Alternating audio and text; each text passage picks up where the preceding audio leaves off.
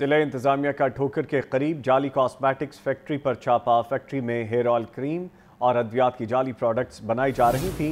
DC साले सईद भी मौके पर पहुँच गई। ड्रग इंस्पेक्टर्स ने ब्रीफिंग दी है। ज़िले इंतजामिया का ठोकर के करीब जाली कॉस्मेटिक फैक्ट्री पर छापा मारा गया है, जबकि फैक्ट्री में हेयर ऑयल क्रीम और इसके साथ साथ अद्वियात की जाली प्रोडक्ट्स बनाई जा रही थी। इस बारे में मजीद तफसीत के लिए इमरान मलिक हमारे साथ मौजूद हैं। बताइए इमरान मलिक, इस कार्रवाई के हवाले से? आज बिल्कुल, ये जो छापा डाला गया है कतारबंद रोड, ठोकर न्याज बेग, में मुख्तलिफ़ कंपनियों की दो नंबर प्रोडक्ट्स बनाने वाली लेदर कॉस्मेटिक फैक्ट्री पर ये छापा मारा गया जिस पर हेयर ऑयल क्रीम और अद्वियात शुक्रिया इमरान मलिक।